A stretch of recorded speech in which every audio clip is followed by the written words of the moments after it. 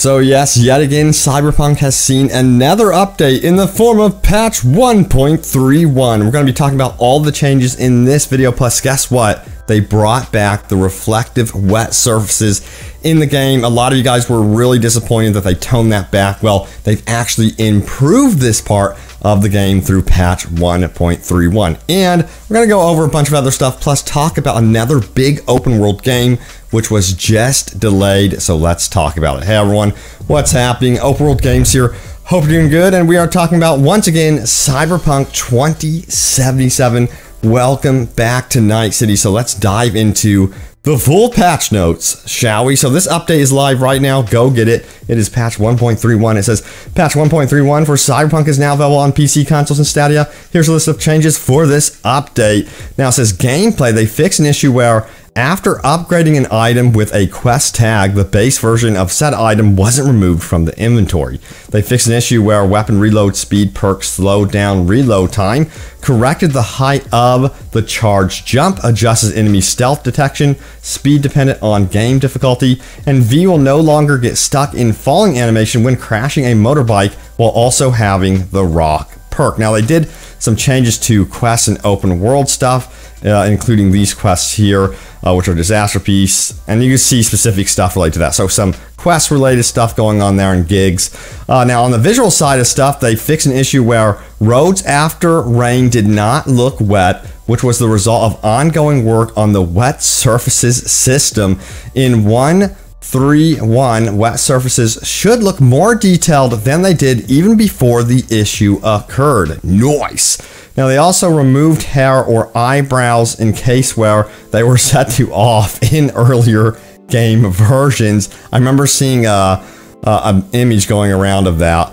It says fix an issue where shooting with a tech weapon caused a momentary blinding light. And then with a little help from my friends, fix an issue where uh, Carol was missing her tablet or sitting in the air during a scene. So some minor updates uh, within this, but I think uh, one of the most noteworthy things there is they brought back the wet surfaces.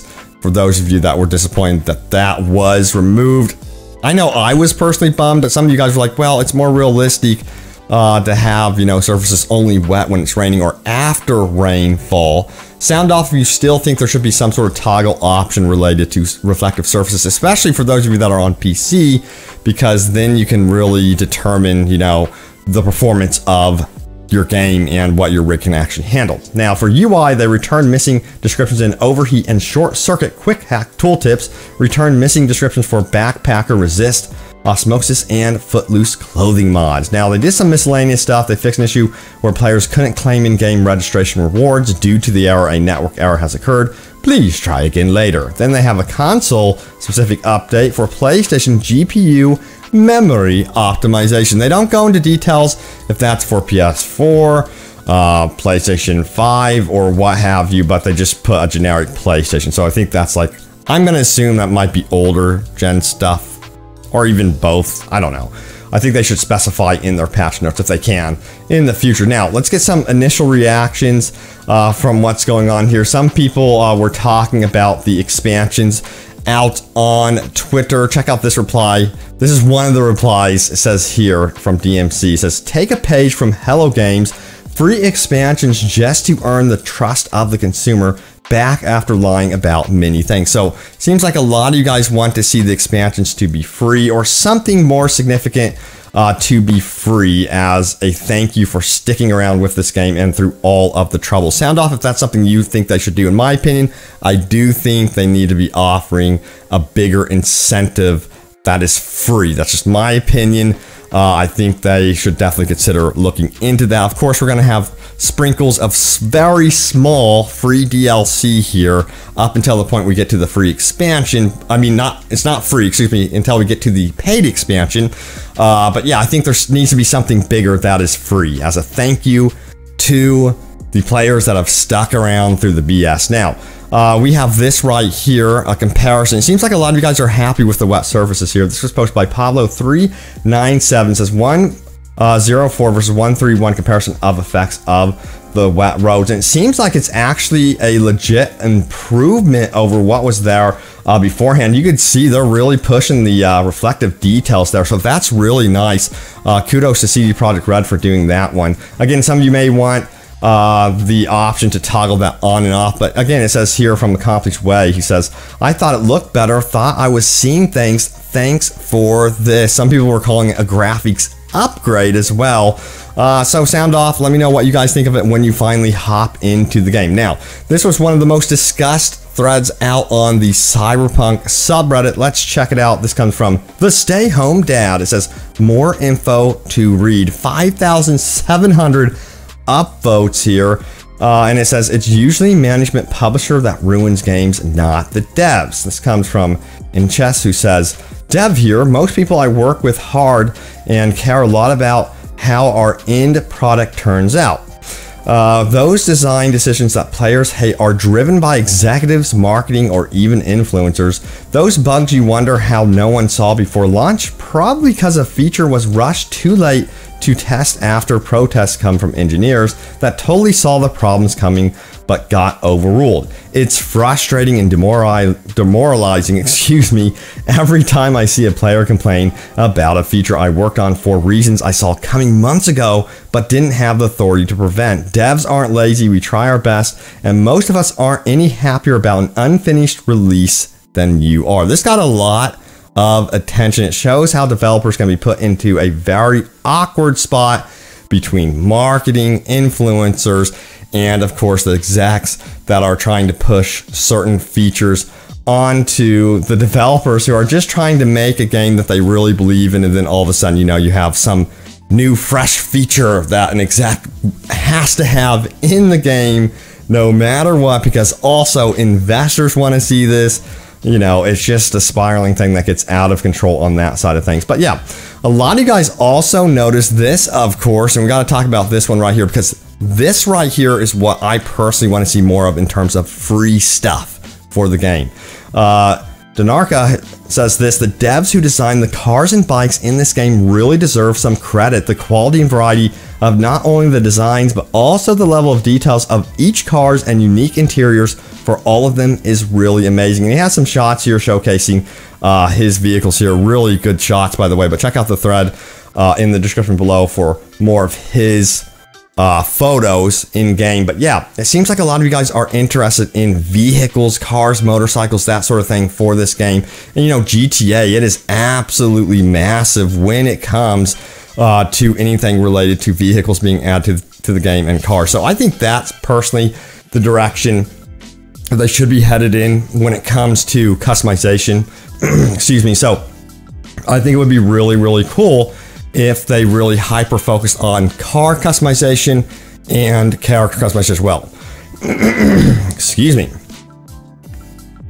So yeah, I think it would be really cool if they focused on so yeah, I think it would be really cool if they focused on character and car customization going forward, but since you can see the car from third person, they should go all in on the free stuff related to vehicles I think that'd be really cool. Now, player recently discovered something very cool. It took over a year for players to discover this one. Cyberpunk 2077 player discovers hidden location nearly a year later. And this comes from, of course, the subreddit 7,200 upvotes from the community. Comes from Phil the Rush 2132 says, Has anyone ever found this before? Well done. I was exploring and found this. Too bad there wasn't something exclusive over here. Kind of cool though. And he climbed up here and he uh, discovered uh, these loot boxes here, which of course don't contain anything, but we have a message from developers that says, well done. Now, there's a lot of theories as to what this is exactly. Honestly, I think this was left here as like a leftover and something more of an internal inside type joke, perhaps. Uh, or they just knew that players might stumble on this through, you know, glitching or something like that. But yeah, I think that's a fun little Easter egg right there. I'll throw the link in the description down below if you want to actually find a way to discover that for yourself. Uh, now, let's talk a little bit more about real world vehicles ending up in Cyberpunk 2077. And this is mostly through the power of mods. We see this, of course, with GTA 5, and I want to see more and more of this. But yeah, it seems like uh, you know, these car companies in real life are very interested in the cyberpunk theme. Check this out. Cyberpunk Shelby GT500 KR and 429 Cobra Jet Mustang have a growling wide body meet. And they are influenced actually by a cyberpunk theme, and it looks really, really cool here. I want to see this so badly in Cyberpunk 2077. Uh, it would be so cool to see more mods or, you know, an official uh, licensed cars in Cyberpunk. I don't think that's going to ever happen. That's super expensive to do something like that. But yeah, anyway, let me know what type of car you would like to see that is Cyberpunk themed, perhaps your favorite car, real life car, by the way, make its way into Cyberpunk 2077. Now, I did briefly mention at the beginning of the video, we would talk about another open world game that was recently delayed. I wanted to let you guys know about this one because I think quite a bit of you might be following this one briefly. We have Dying Light 2, which has been delayed until February 4th, 2022. So that's pretty noteworthy. That's going to be heading into, of course, early 2022. That's what I'm really excited for. I really enjoy enjoy uh, Dying Light for sure. All right, now it's time to go over your top comments. Remember, leave a comment down below. It could end up in a future video. Let's do this. My recent video was this one right here. Brand new update. CD Projekt Red asked fans for money. Red Engine 2 info.